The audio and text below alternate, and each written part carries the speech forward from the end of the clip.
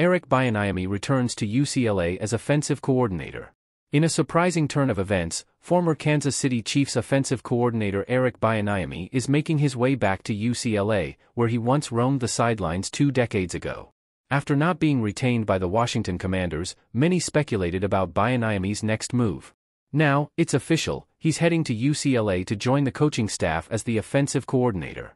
Speaking to CBS Sports, Bieniemy expressed his excitement about returning to a familiar place and the opportunity to work alongside new head coach Deshaun Foster.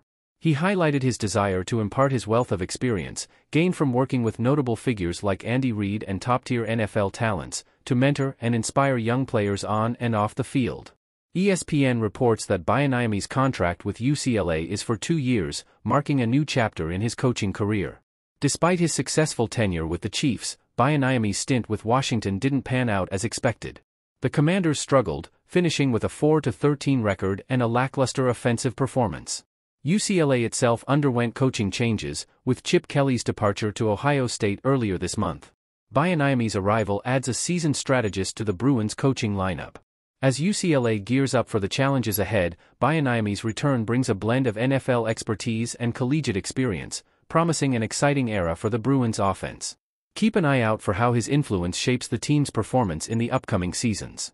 Stay tuned for more updates and analysis on Eric Bieniemy's return to UCLA, right here on SSN 24.